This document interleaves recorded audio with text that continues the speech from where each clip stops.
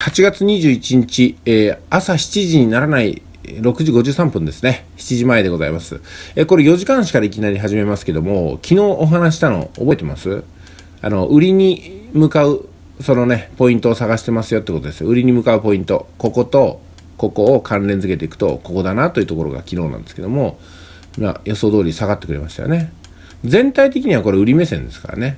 売り目線。えー、まあ、こっからこういう風にいってるところでも見えますし、ドーンと下に来て、ちょっと上に上がったと思ったら、それ以上のエネルギーで下に行ってるところもあると。ちょっと上に行ったら、やっぱり下に行ってるところを繰り返してみると、やっぱり売り目線なんですよね。ちょっと1時間の方もうちょっと詳しく見れますので、1時間の方見てみましょうか。はい、えどうでしょうかね。ここから引いたゾーンが、ゾーンがですよ。これ。見事に反応して、ここから売りに向かってますよね。こういう風な感じですか。もうね、これは速稼塾の私のね解説でもよく出てくるパターンですからね。もうマークしといていただきたいかなと思います。さあこれ。これをね取れましたか？これを。なんだこれ？もう 変な矢印になりましたすいません。ここ。ここを取れましたか？私は取れませんでした。昨日はねなんとですね広島から、えー、瀬戸大橋を通って愛媛に行ってそれからしまなみ海道を通って帰ってきたというねドライブしてたんで取れませんでしたね。予想合ってたんですけどもね。だからね生活とか暮らしってものがありますんで分かっていても エントリーできないことってあるんですよ。でもまあ私のね、えー、この読みっていうのがうまくいったなっていうのは事実だと思うんですよ、うん、だからお金は儲かんなかったけども一つ、またね、経験を積んだということですよね。はい、えっ、ー、と、じゃあ、今日はどうするかってことになります。今日はどうするか。ああ、そうってくださいね。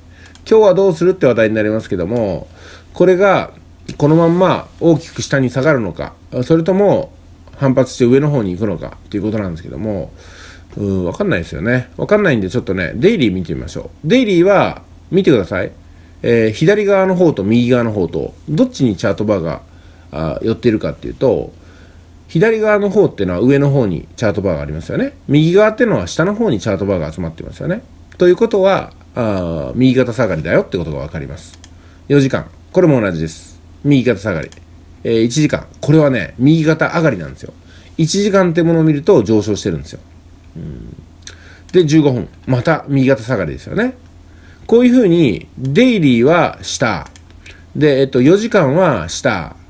1時間は上15分は下っていう時は全方向が同じようなトレンドを形成してないんで瞬間的に1時間だけで行くんだったらあちょっと難しくなります。他の15分4時間デイリーとは別の方向で見ないといけないですからね。ただねご安心ください。全部が売りに戻ります。もうすぐしたら。1時間も売りに向かっていきます。ね。そうした時に全時間軸が売りなんで売りで入れば勝てるっていうね、フェーズが現れます。わかりやすいですね。それではまたお会いしましょう。